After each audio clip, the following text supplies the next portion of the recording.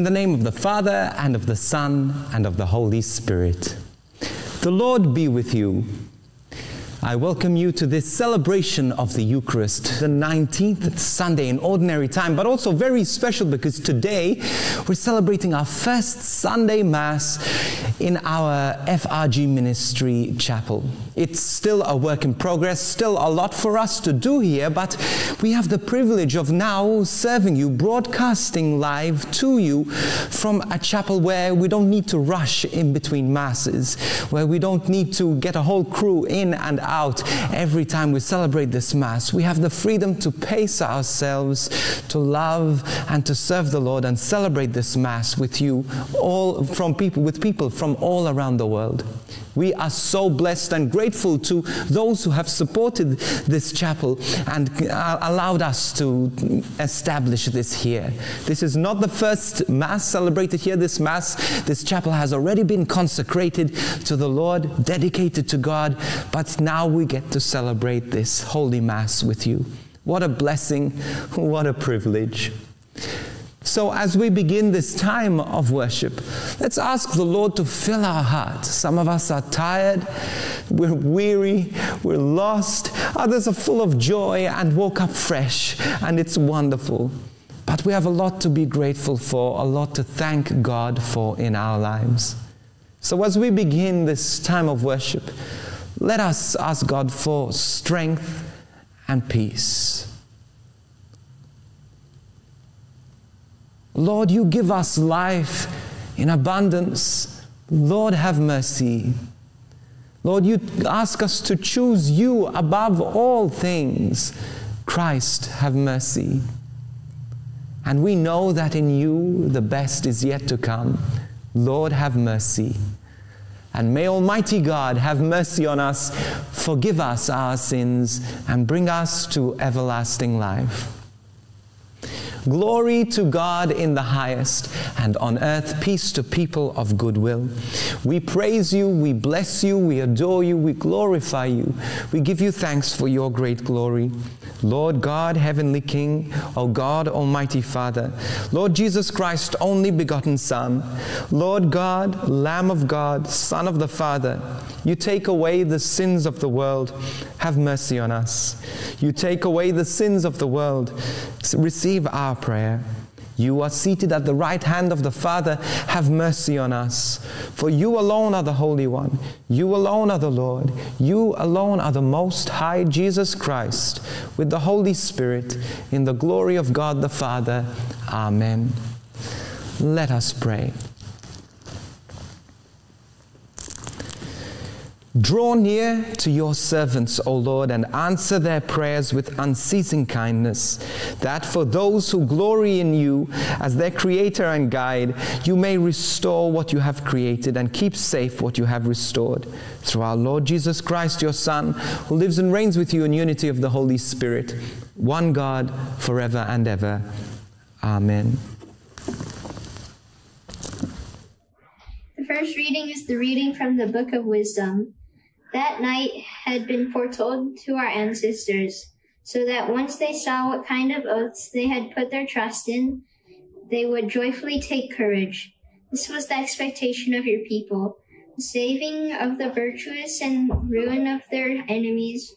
For by the same act with which you took vengeance on our foes, you made us glorious by calling us to you. The devout children of worthy men offered sacrifice in secret and this divine pact they struck with one accord, that the saints would share the same blessings and dangers alike, and for which they had begun to chant the hymns of the fathers. The Lord of the word of the Lord. Thanks be to God. Happy the people the Lord has chosen to be his own. Bring out your joy to the Lord, O you just, for praise is fitting for loyal hearts. They are happy whose God is the Lord, the people he has chosen as his own. Response? Happy the people the Lord has chosen to be his own. The. Lord looks on those who revere him, on those who hope in his love, to rescue their souls from death, to keep them alive in famine. Response. Happy the people the Lord has chosen to be his own. Our soul is waiting for the Lord. The Lord is our help and our shield. May your love be upon us, O Lord, as we place all our hope in you. Response? Happy the people the Lord has chosen to be his own. The second reading is a reading from the book of Hebrews, chapter 11, verses 1 to 2, verses 8 to 19. Only faith can guarantee the blessings that we hope for or prove the existence of the realities that at present remain unseen. It was for faith that our ancestors were commended. It was by faith that Abraham obeyed the call to set out for a country that was the inheritance given to him and his descendants, and that he set out without knowing where he was going. By faith he arrived, as a foreigner, in the promised land, and lived there as if in a strange country, with Isaac and Jacob, who were heirs with him of the same promise. They, they lived there in tents while he looked forward to a city founded, designed, and built by God. It was equally by faith that Sarah, in spite of being past the age, was made able to conceive, because she believed that he who had made the promise would be faithful to it. Because of this, there came one man, and one who was already as good as dead himself, more descendants than one than could be counted, as many as the stars of heaven or the grains of sand on the seashore. All these died in faith before receiving any of the things that had been promised, but they saw them in the far distance and welcomed them, recognizing that they were only strangers and nomads on earth. People who use such terms about themselves make it quite plain that they were in search of their real homeland. They can hardly have meant the country they came from, since they had the opportunity to go back to it. But in fact, they were longing for a better homeland, their heavenly homeland. That is why God is not ashamed to be called their God, since he has founded the Savior for them. It was by faith that Abraham, when put to the test, offered up Isaac. He offered to sacrifice his only son, even though the promises had been made to him, and he had been told, It is through Isaac that your name will be carried on. He was confident that God had the power to raise the dead, and so, figuratively speaking, he was given back Isaac from the dead. The word of the Lord. Thanks be to God. Alleluia, alleluia. Be watchful and ready. You know not when the Son of Man is coming. Alleluia. The Lord be with you. A reading from the Holy Gospel according to Luke. Jesus said to his disciples, See that you are dressed for action and have your lamps lit. Be like the people waiting for their master to return for, for the wedding feast, ready to open the door as soon as he comes to knock. Happy those servants whom the master finds awake when he comes. I tell you solemnly, he will put on an apron, sit them down at a table, and wait on, them.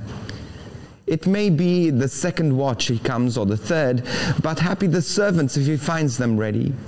You may be quite sure of this that if the householder had known at what hour the burglar would come, he would not have let anyone break through the walls of this house. You too must stand ready, because the Son of Man is coming at an hour you do not expect. The Gospel of the Lord. I'm always fascinated by those pictures of saints that Uh, you find them like Saint Jerome sitting at their desk with their pen. But if you notice, if you look closely, on a lot of these saints' desks, whenever there's a desk, there's often a human skull. Now, this is crazy. Why would these saints, why would the church depict these saints with a human skull on their desk?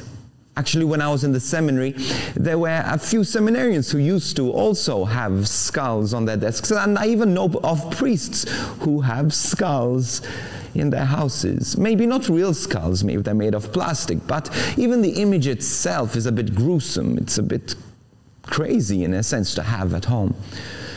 But why do they have this? Why do we depict, saints with skulls?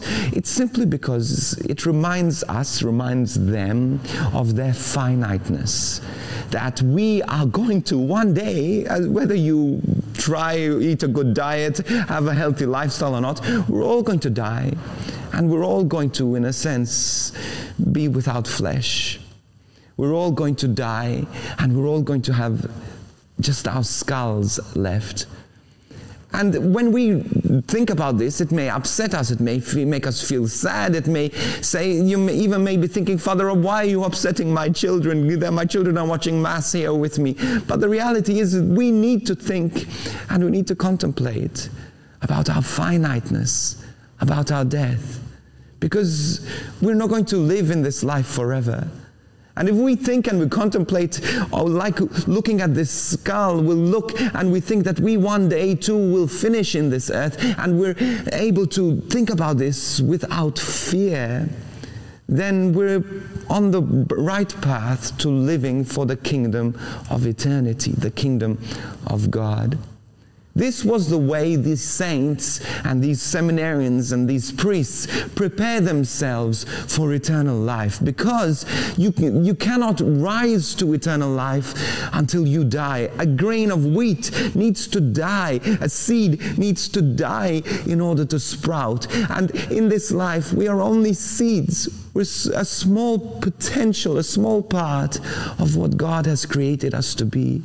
We were created for eternal joy. We were created to be with God forever in heaven. But we don't go to heaven by accident. We need to be prepared. And we do this by reflecting on whether we're holding on to things of this earth too tightly. We need to let go and trust in the Lord, let go of our addictions, let go of our sin, let go of the attachments of the wealth of this earth. So many people come up to me the, over the last few years.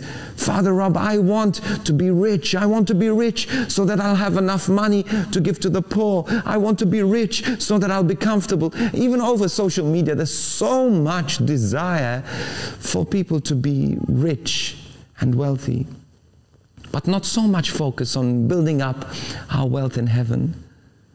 You see, at the end of the day, having building wealth, being successful, it's not going to give us anything once we die. Let's look and behold at our finiteness, at this skull, and realize that we were created to live this life to the full here, but not so much that we get attached to these places. Let's contemplate on how we will one day be with God in heaven and let go and look at it not with fear but with joy. Because when we do get to heaven when we do die we will reach our full potential of joy of peace of hope being with the one we love. But we need to be prepared. We need to contemplate. We need to think and not be afraid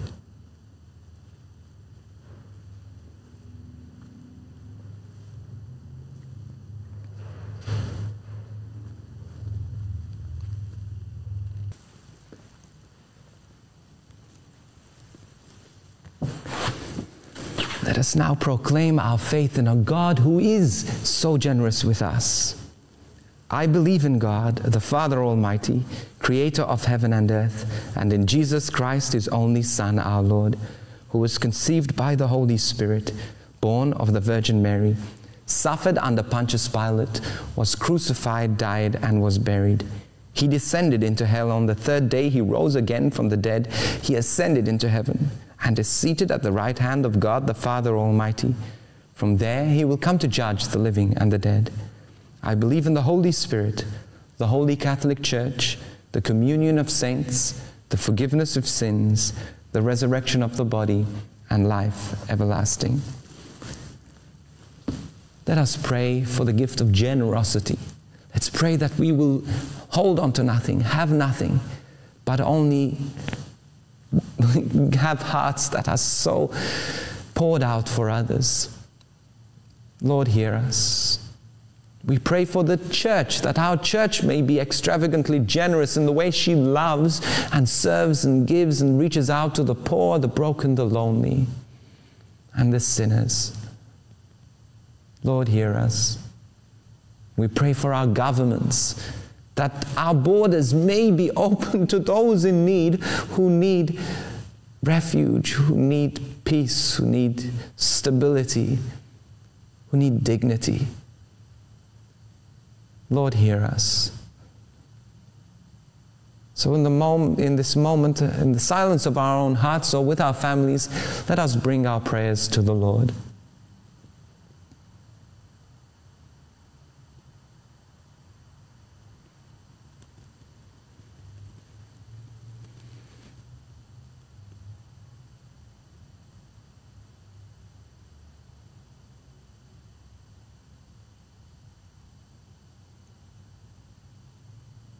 And Lord, we ask you to receive these prayers through inter- the intercession of our Mama.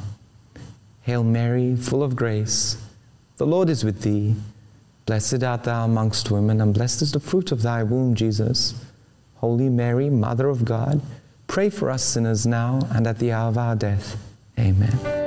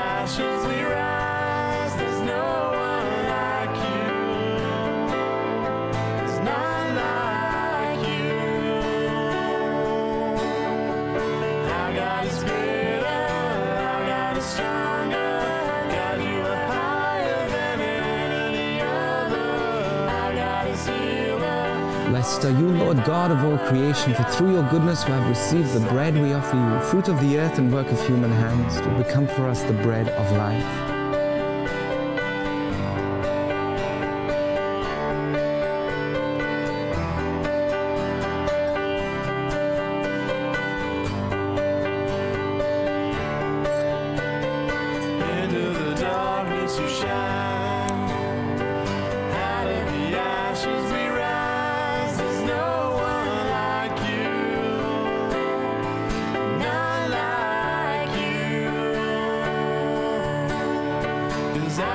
Blessed are you, Lord God of all creation, for through your goodness we have received the wine we offer you, fruit of the vine and work of human hands, will become our spiritual drink.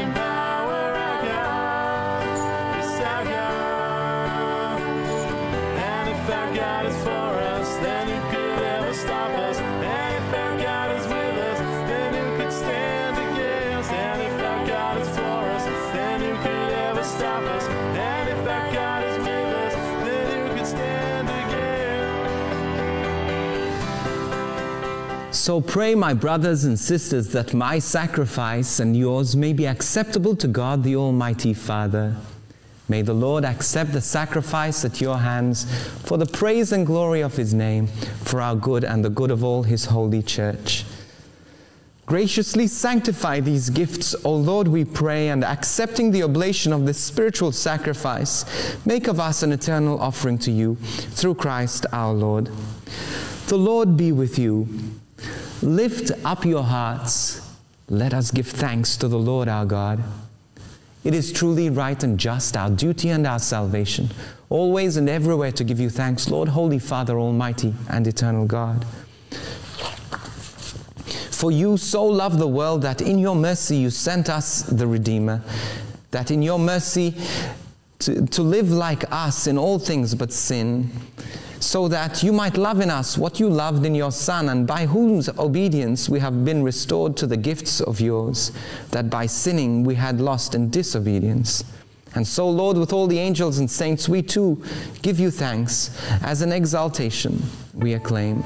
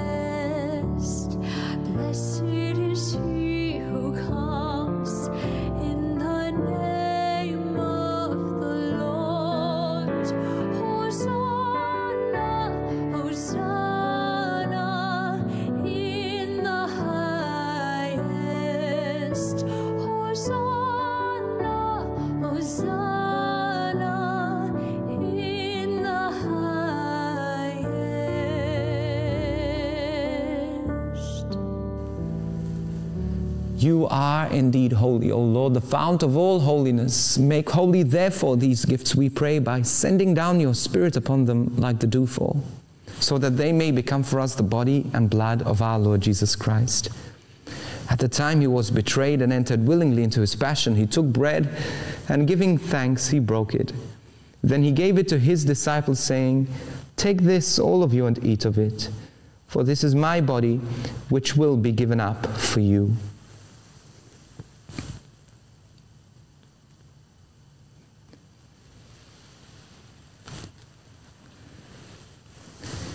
In a similar way, when supper was ended, he took the chalice and once more giving thanks, he gave it to his disciples, saying, Take this, all of you, and drink from it.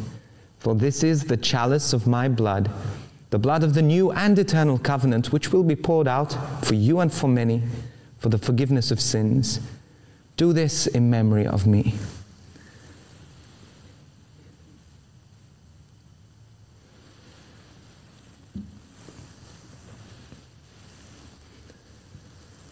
The mystery of faith.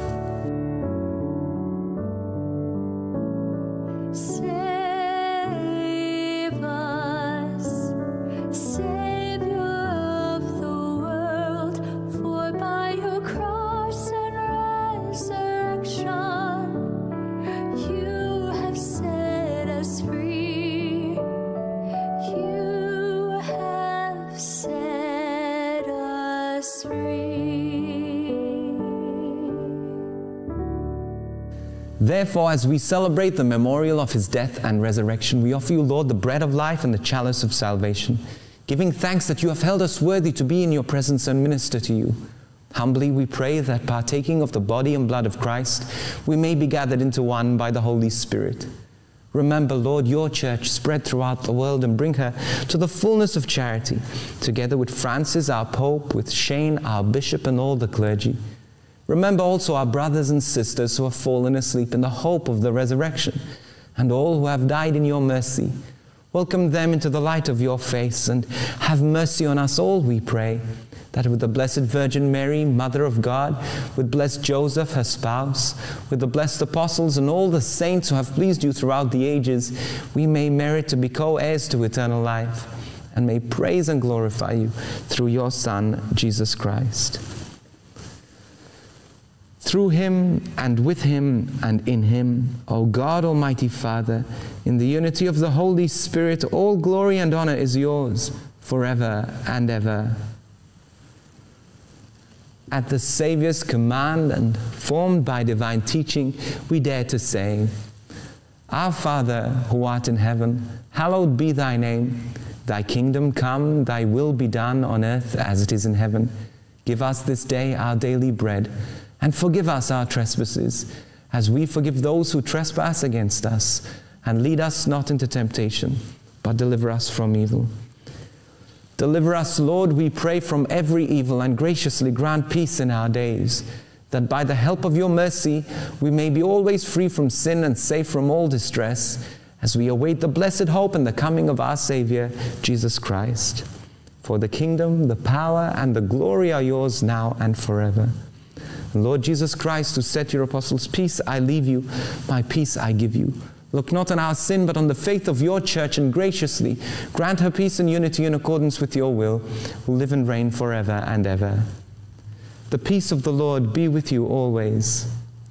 Let us offer each other a sign of peace.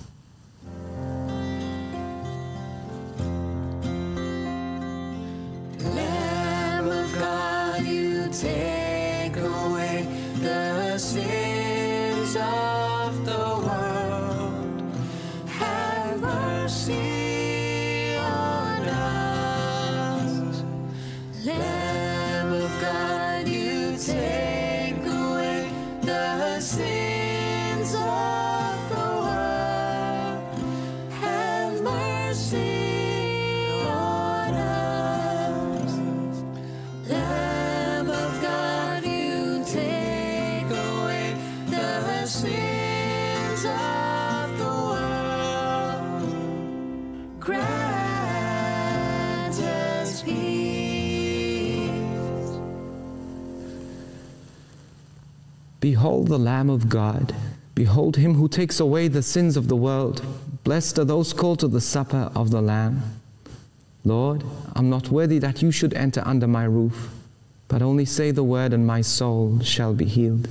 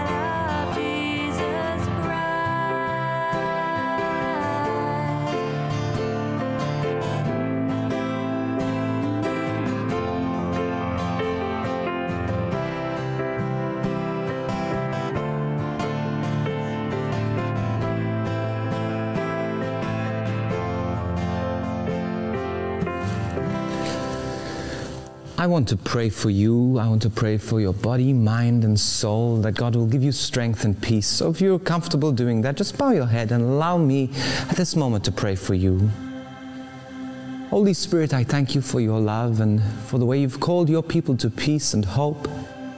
Lord, I'd like to pray for those who are struggling right now with finding rest and peace. Lord, I thank you that you're healing someone from sleeplessness. Lord, you are our healer, and you alone, you alone can heal your people. Give them rest.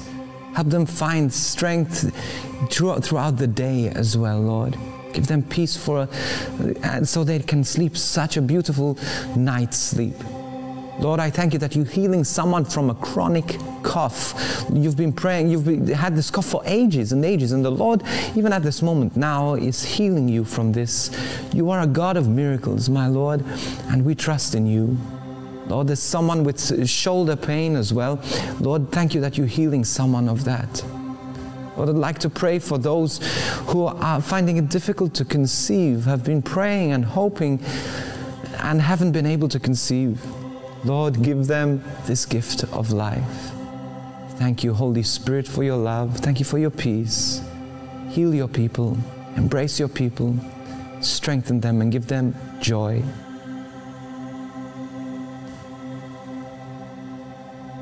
Let us today pray an act of spiritual communion in the silence of our hearts. You can read it here on the screen.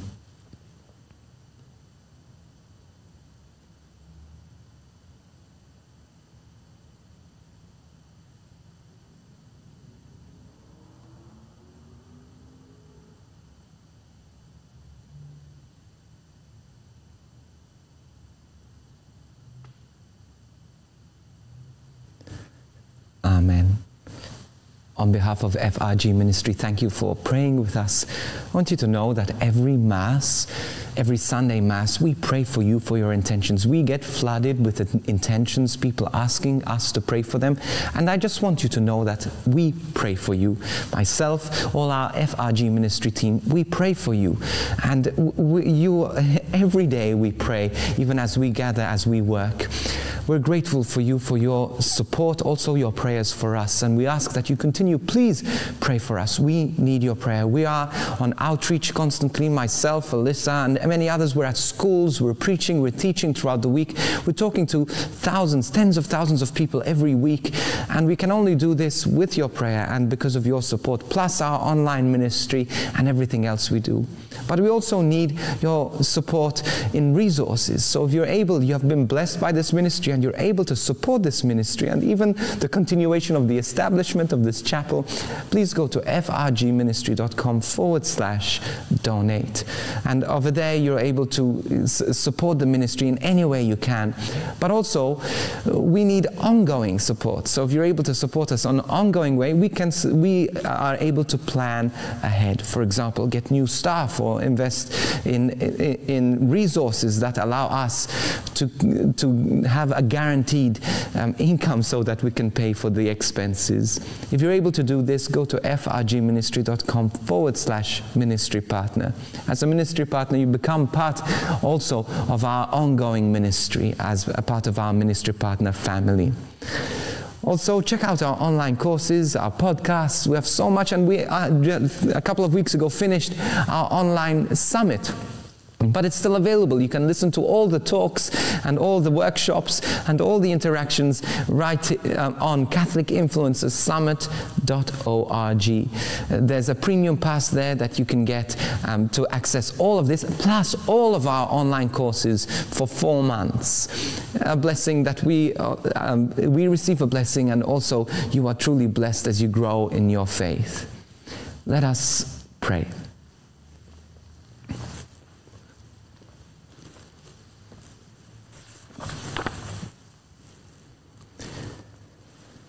Accompany with constant protection, O Lord, those you renew with these heavenly gifts, and in your never failing care for them, make them worthy of eternal redemption through Christ our Lord.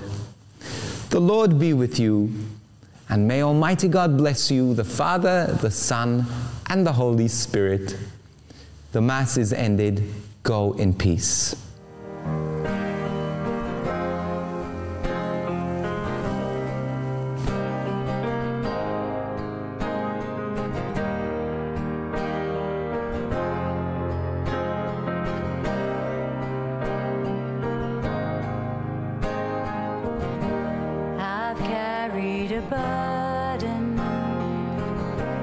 Too long on my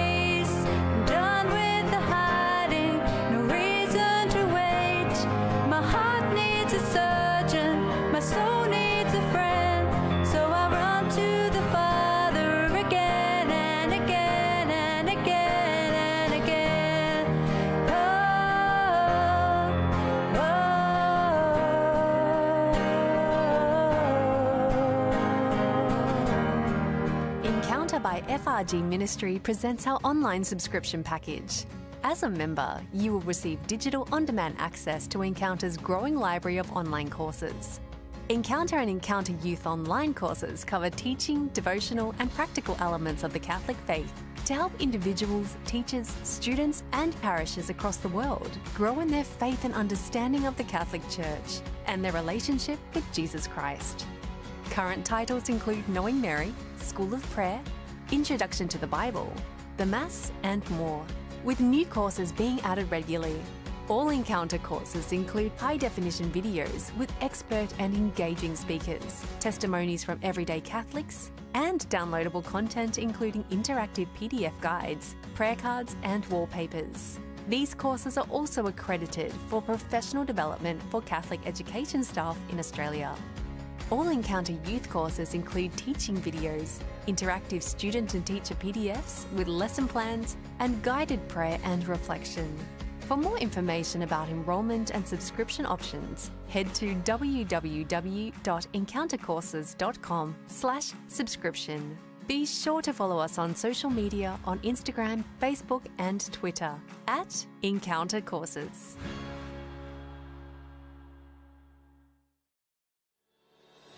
Encounter Youth by FRG Ministry presents The Kingdom of God. Join Father Rob Galea, Brendan Alliston, and Clara Ravdanovich in this curriculum based online course that explores what the Kingdom of God is and how we are called to bring about this kingdom today by following the example of Jesus. Filled with an engaging visual narrative, high definition teaching videos, and interactive teacher and student PDFs complete with lesson plans, class activities, and more, this course is an invaluable addition to your classroom or youth group. Get access to this course and our entire Encounter Courses library at encountercourses.com forward slash subscription.